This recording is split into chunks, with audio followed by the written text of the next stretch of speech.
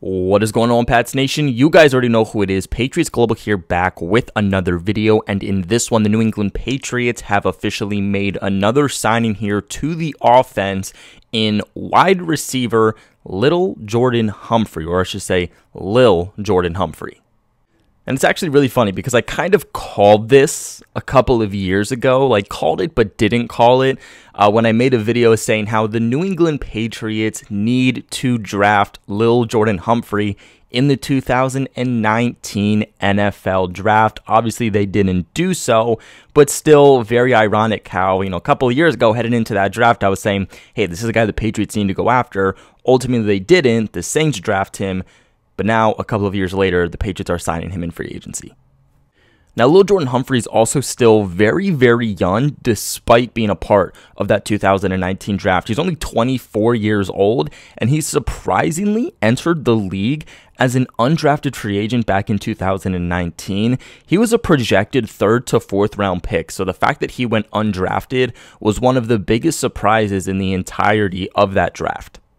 Now, he really hasn't done too much since joining the NFL coming out of the University of Texas. Since then, he has appeared in 18 games, including six starts to catch 16 passes for 295 yards and three touchdowns. But I mean, at the same time, he was a UDFA. So the fact that you're even getting that production out of a UDFA is still very good considering the Patriots haven't gotten much more production from a first round pick in N'Keal Harry.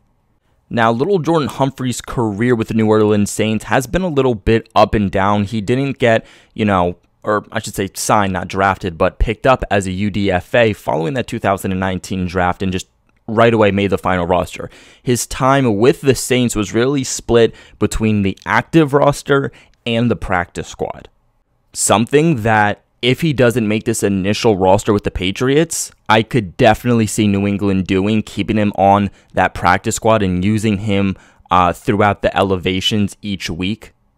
But before the start of the 2021 season, he signed a futures contract with the Saints. Now he's six foot four, 225 pounds, something that I absolutely love about him. This guy is a huge, huge, huge, huge target for whatever quarterback is throwing to him.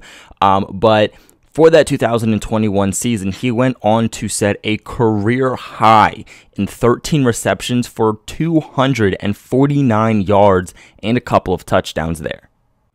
An area that I really, really like about Lil Jordan Humphrey is his catch radius. Now, obviously, with that being said, he's a big target, like I said, 6'4, 225 pounds.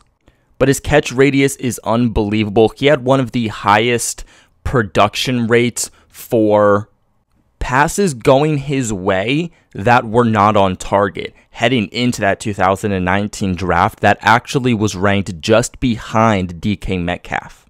He also has really good yards per reception. Like I mentioned, this past year was a career high for him, putting up 249 yards on just 13 receptions, being targeted 18 times. He had 19.2 yards per reception. In 2020, when he was targeted five times with three receptions for 46 yards, he was averaging about 15.3 yards per reception.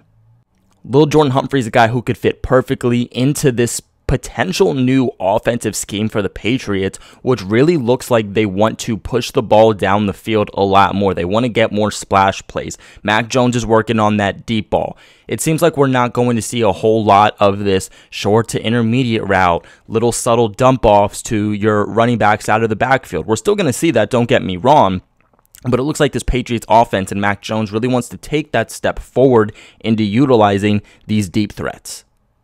Now, real quick, I do want to give a shout out to the sponsors of this video, betonline.ag. Guys, our partners over at betonline continue to be the number one source for all your betting needs and sports info.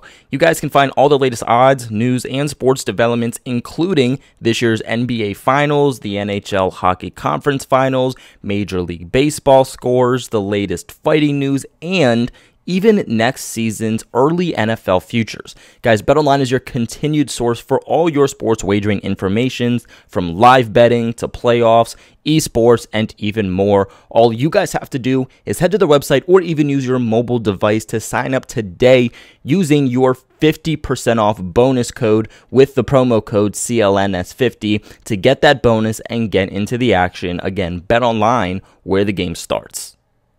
Now, this past year, he had a total of 216 snaps on offense, while he had a total of 45 snaps on special teams. You know that Bill Belichick is really looking to revamp the special teams. You know, he's really looking to find the next future of this New England Patriots special teams, especially when it comes to kick returner and punt returner.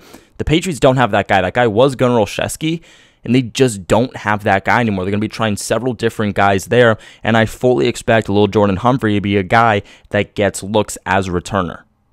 Now, little Lil'Jordan Humphrey is also going to give the Patriots another perimeter guy, which is something that they really need. You know, they have a lot of these guys that can play within the slot, but they don't have a lot of true outside guys, big outside guys that they can rely on.